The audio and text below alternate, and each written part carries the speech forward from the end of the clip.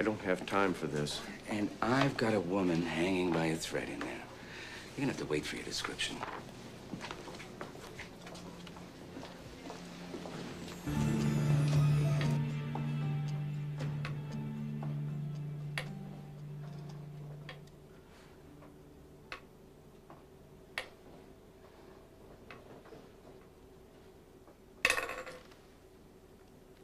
Oh, I didn't mean to wake you. Eric Ashton, FBI. We met on the chopper.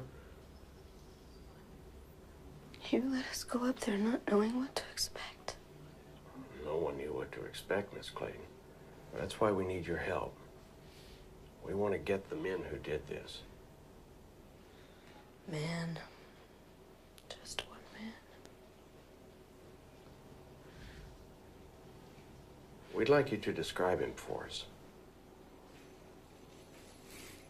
I don't remember what he looks like. Look, we've already waited more than a week to talk to you. Now, we all share your pain. You know nothing about my pain.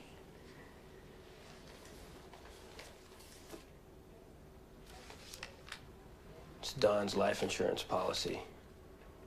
You're the sole beneficiary. Maybe I was misinformed, but I was under the impression that you and. Well, I thought you'd want to do it. For him. Said I can't remember. Look, let's cut the crap, huh?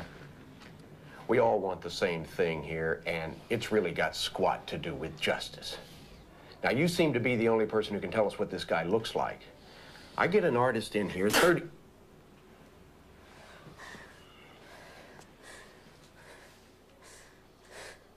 It's our man, all right. Up in those mountains, without a hard location, gentlemen, we're screwed. He's got over 50,000 acres of wilderness to hide in. It's not going to be easy no matter where he is. No clues, no prints, and an uncooperative witness. If it's who we think it is, and he knows this girl is alive, he just may come to us.